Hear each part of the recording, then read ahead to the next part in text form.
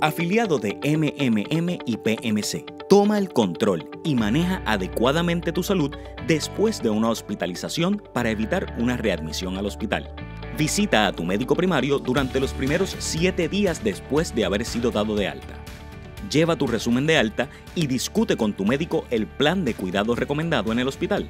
Verifica con tu médico cuáles son los medicamentos que vas a seguir utilizando. Cumple con el tratamiento, estudios y citas de seguimiento, aun cuando te sientas mejor.